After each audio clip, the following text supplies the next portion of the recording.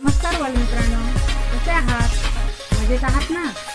मी सवयकरी सुनील धनगर आविष्कार फाउंडेशन या माझ्या यूट्यूब चॅनलमध्ये आपलं सहर्ष स्वागत करीत आहे. माझा नवीन चॅप्टर सुरू करण्याआधी तुम्ही माझ्या चॅनलला सबस्क्राईब केलं नसेल तर लगेच सबस्क्राईब करा. त्यामुळे तुम्हाला माझ्या नवीन नवीन व्हिडिओची नोटिफिकेशन लगेचच मिळतील. Hello students today we learn subject English for standard two and today this is chapter one point eleven reading time.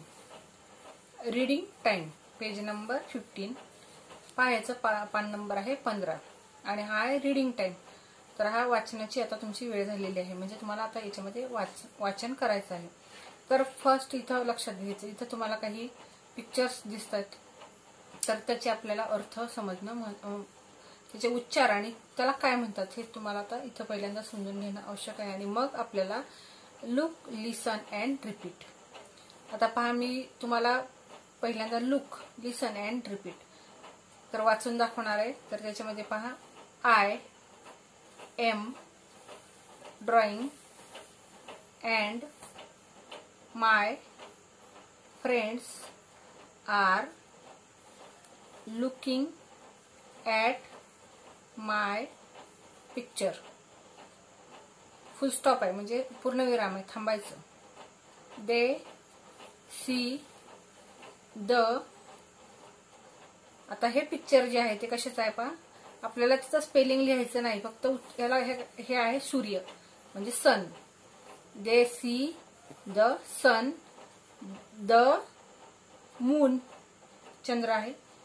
The stars चांदण्या and the clouds in the sky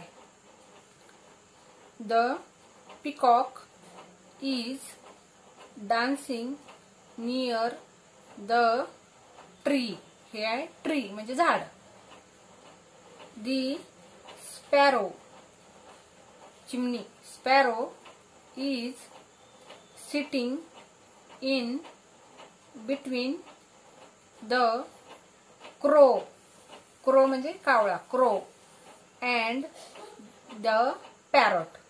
पोपट. पॅरॉट म्हणजे काय? पोपट. फुल स्टॉप थांबायचं थोडा वेळ. फुल स्टॉप इथं टिंब दिसलं की थांब थोडा वेळ थांबायचं. The cow and the deer are grazing in the meadow the monkey is sitting up there on a branch of the tree. The squirrel is also sitting on a branch of the tree.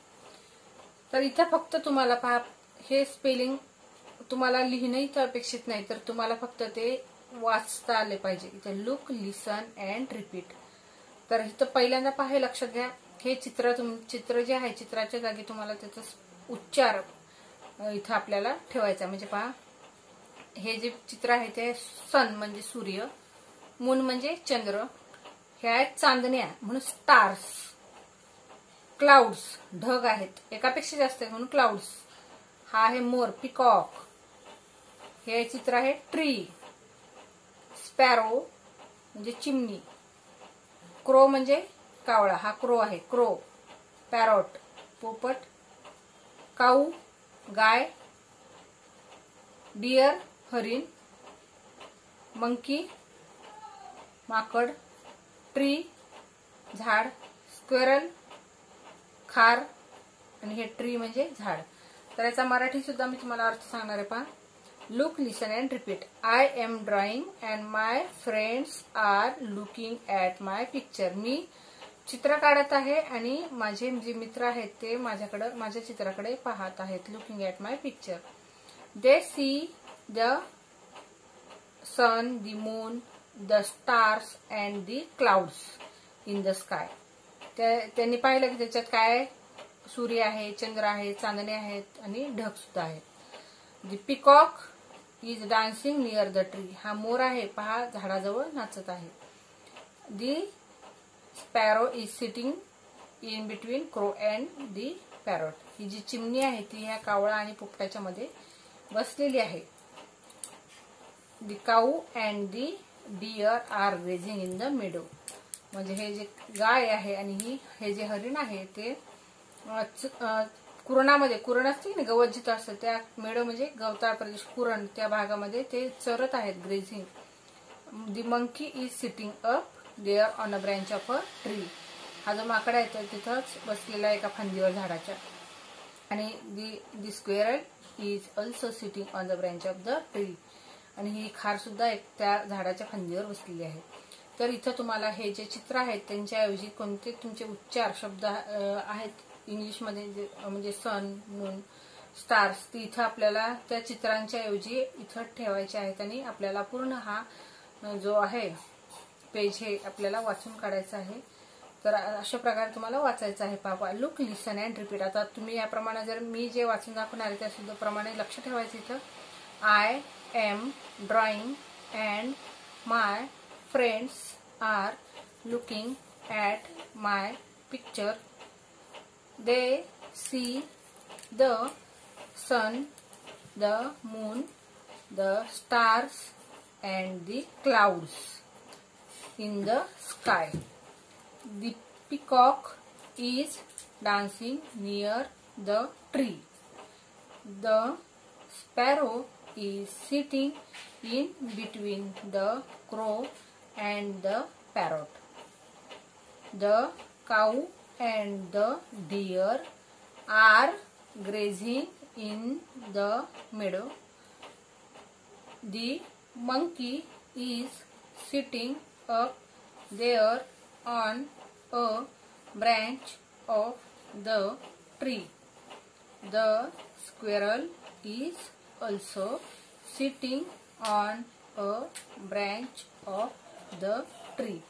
आता मी पहा एकदम slowly आणि silently तुम्हाला हे शब्दांचे उच्चार जसं एक एक शब्दावर ठेवून तुम्हाला सांगितलेलं आहे ते त्याच्या उच्चारांचा तुम्ही सराव करायचा आणि त्याप्रमाणे फक्त तुम्हाला लुक लिसन अँड रिपीट पाहायचं आहे ऐकायचं आणि वाचन सुद्धा करायचं आहे. तुम्हाला इथं लिहिणं अपेक्षित नाही आहे हा तुमचा रिडिंग टाइम आहे तुम्हाला फक्त हे ह्या श- चित्रांच्या ऐवजी आप- तुम्हाला शब्द जे आहेत ते ठेवणं आवश्यक आहे आणि त्याप्रमाणे हा पूर्ण तुमचा हा रिडिंग चॅप्टर आहे तो तुमचा रिडिंग हा वाचायचा आहे.